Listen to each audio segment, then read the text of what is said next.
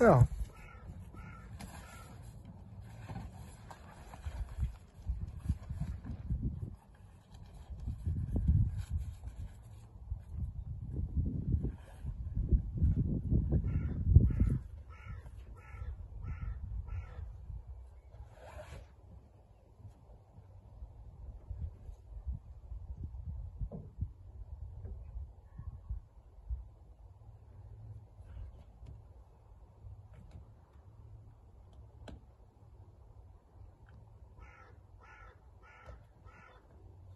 Undrar om jag har bilder som jag har tagit innan på